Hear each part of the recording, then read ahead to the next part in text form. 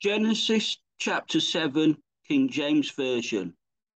And the Lord said unto Noah, Come thou all thy house into the ark, for thee have I seen righteous before me in the gener- in this generation.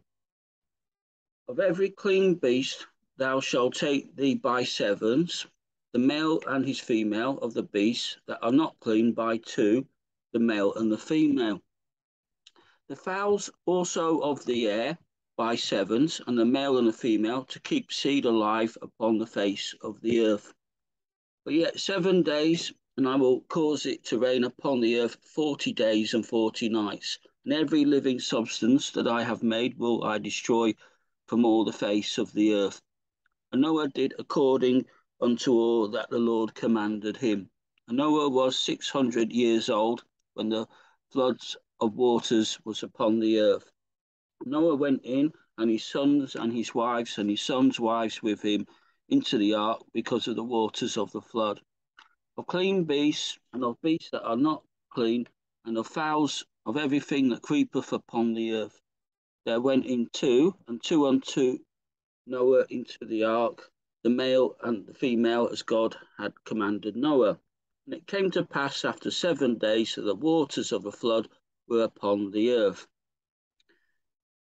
In the 600th year of Noah's life, in the second month, the 17th day of the month, the same day were all the mountains of the deep, great deep, broken up, and the windows of heaven were opened, and the rain was upon the earth forty days and forty nights.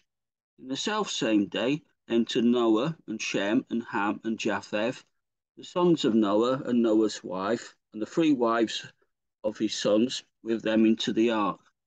They and every beast after his kind, and all the cattle after their kind, and every creeping thing that creepeth upon the earth after his kind, and every fowl after his kind, every bird of every sort. And when they went into the ark, Noah, into the ark, two and two of all flesh, wherein is the breath of life and they that went in went in male and female of all flesh, as God had commanded him, and the Lord shut him in. And the flood was forty days upon the earth, and the water increased and bare up the ark, and it was lifted up above the earth.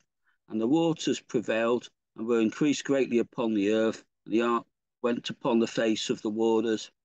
And the waters prevailed exceedingly upon the earth, and all the high hills that were under the whole heaven were covered. Fifteen cubits upwards did the waters prevail, and the mountains were covered. And all flesh died that moved upon the earth, both fowl um, of the cattle and of beasts, and of every creeping thing that creepeth upon the earth, and every man. And in all whose nostrils was the breath of life, of all that was in the dry land died and every living substance was destroyed which was upon the face of the ground, both man and cattle, and the creeping things, and the fowl of the heaven, and they were destroyed from the earth. And Noah only remained alive, and they that were with him in the ark. And the waters prevailed upon the earth a hundred and fifty days.